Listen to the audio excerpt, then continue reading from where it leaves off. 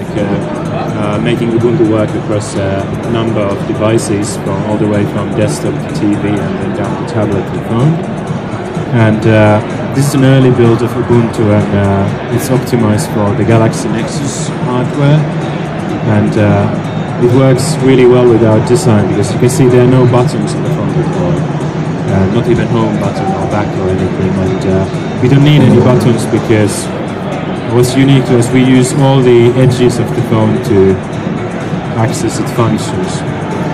And uh, if I swipe here from the left, I get the list of my favorite applications, not just a limited number of applications that are useful on the lock screen. And from the right, I can go back to the previous screen. It's like a straight unlock, as you like, the classic unlock. And uh, now we have the home screen, and uh, this is a place where you can find and retrieve all your content, whether it's on your device or on your cloud or an online store. And uh, you can customize these paragraphs um, the way you like. For example, if you want to see apps, calls, the films you like, music have recently added, or maybe the stores that you frequently visit, you can just access them all on this page. You just scroll up and down. And then we also got a few dedicated pages for different types of content, like this one for apps, where on one page you can see all my running apps, frequently used apps, installed apps, and even apps that are not yet installed. So if you want to install an app, you can do it straight here from the home screen. You don't have to go to a separate uh, software center if you don't want to. And uh, there's a page for videos, there's one for music. But I want to highlight our people um, here because that's something where we did some really cool integration with uh, social networks and, and, apps. So it's the one page where you can keep an eye on what your what your friends are up to. We can pull in the latest uh, Facebook or Twitter status right here on the home screen. The little dot also means whether they are available for chat or, whether they're busy. And uh, if I open any of these, I find all the contact information. So I can choose whether I want to call or message them or rather email.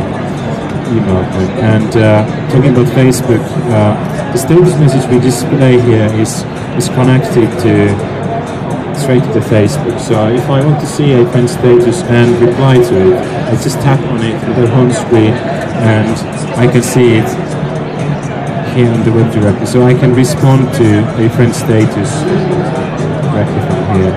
And it's what we call a web app. So this is the uh, Facebook HTML5 app running on, it's basically the mobile Facebook. It's the, it's the full Facebook.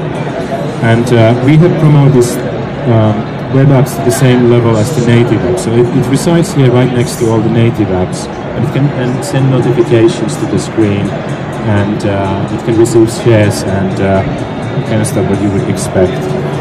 And uh, but if you're rather interested in native apps, um, we created a gallery, new photo gallery to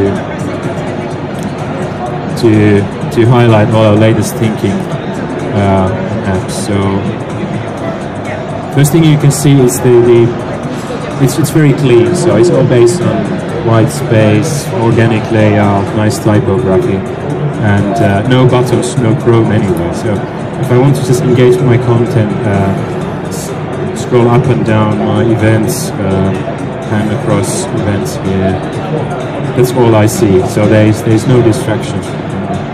And uh, let's open a photo. Here I can see um, now this brings us to the we talked about edges and uh, this brings us to the bottom edge. It belongs to your app.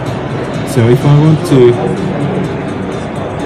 do something with this photo, I find all the relevant controls here bottom of the screen. So if I want to share it, there's a button for that. I can just select Facebook and a uh, little thumbnail appears and I can write a message to a company and share.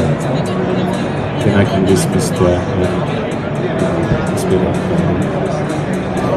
so that's the bottom edge. Now the top edge belongs to the system setting. So usually on the phone it's, it's really tedious if uh, just change any settings. You have to find the settings tab, first go to home, go through five different menus to change them. So here, if you see something, you can use it. So if you just need to change the brightness and battery menu. You open the menu and you click that switch and then push the menu away. And what's really cool, we have integrated messaging to part of this uh, experience. So this is a list of all your outstanding messages from different sources like emails, phone calls, SMSs.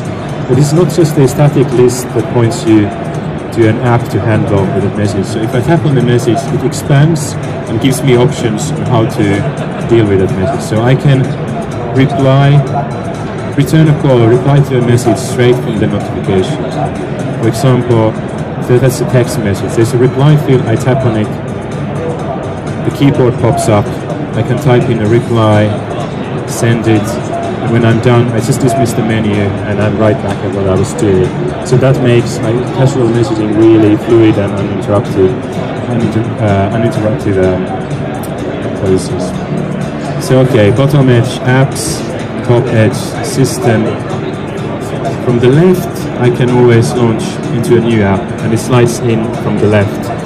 And uh, logically, then, if I want to go back to another app, I just grab the right hand edge and uh, can go through my running apps as if I'm flicking, flicking to a stack of cards